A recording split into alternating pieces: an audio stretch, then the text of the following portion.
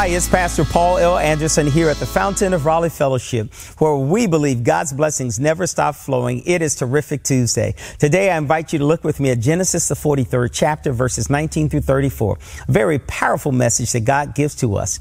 And it's a message in which I have entitled, We Have Been Here Before. The, the brothers uh, uh, of Joseph are now at the household of Joseph. As they're at the entrance, they begin to meet him as they come into Egypt.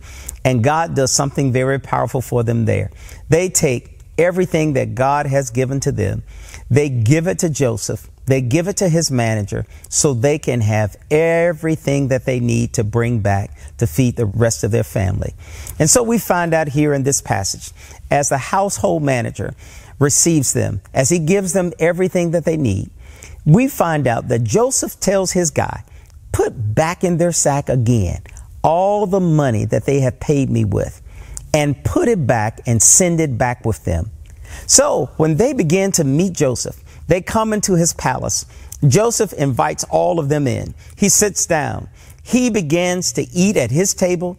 All the rest of his leadership eats at their table and the brothers are eating at their table. Well, it's part of the reason that we find out that they're all in different tables because they had a, a caste system.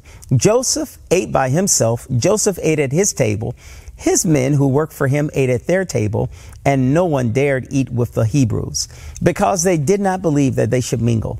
Now, this text begins to help us to see how God is doing great and marvelous things, even in the midst of a situation that these brothers have no idea what is about to happen to them. Now, he says, How is your father? How is the old man? Tell me about him. Is he still alive? They said, Yes. Joseph, our father is still alive. And he said, That's good to hear.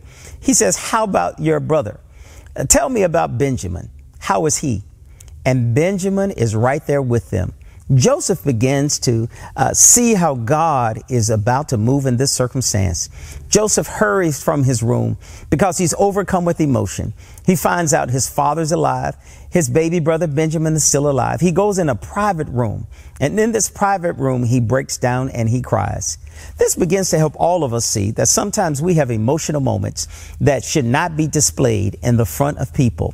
You know, we oftentimes remember how God is doing great things in us. Joseph has a emotional breakdown. He is overcome. He is overcome with tears. He finds himself in a place that he wants to make sure that nobody sees him at this state.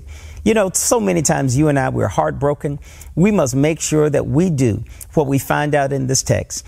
God wants us to be vulnerable to Him, but not to those who might bring harm to us.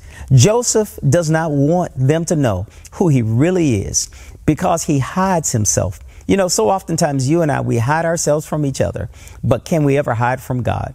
Joseph realized he cannot hide from God. That's the reason he goes into a private room. Joseph decides that where he is all by himself is a moment where he needs to be, how he needs to let it all out. My brothers and sisters, sometimes you and I, we need to let it all out. We need to get rid of all of those things that are in us, those things that are holding us back, those things that are holding us up those things that we have held on the inside. Joseph gets it all out but he doesn't disclose it to everyone else. Joseph is now back in the room, and while he's in the room, he begins to eat. And as he eats and as he sits down, there's wonder and amazement because he begins to seat all of his brothers, and they don't even recognize him. He sits them from the oldest to the youngest. They could not understand how would he have known that, but he positioned them and five times he begins to bless them. Five times he begins to let them eat all of what they want. Joseph gives them more than they have ever would have imagined. He gives them new garments. He gives them everything that they need when they are ready to go back home. My brothers and sisters, God will give us everything that we need when we are ready to go back home so we can go back better than we've ever been. I hope that you will always know that you are exceedingly and abundantly blessed, and God has a great blessing in store for you. And we'll look forward to sharing with you again on tomorrow.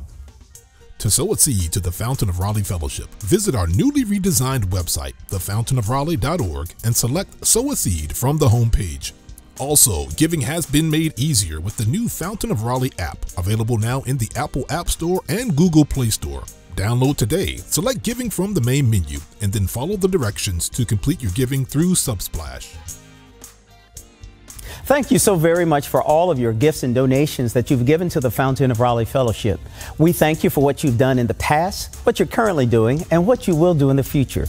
Your gifts and donations helps us to spread the gospel of Jesus Christ not only locally but throughout the world. Thank you again for your gifts and may God continue to richly bless you. It is here at the Fountain that we believe that we are exceedingly and abundantly blessed and may you receive those blessings that God has in store for you.